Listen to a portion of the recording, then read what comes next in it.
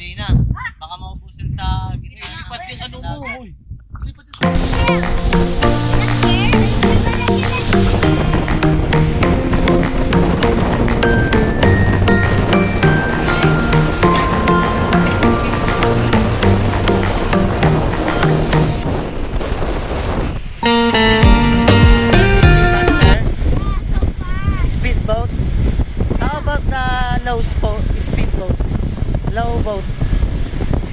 loob at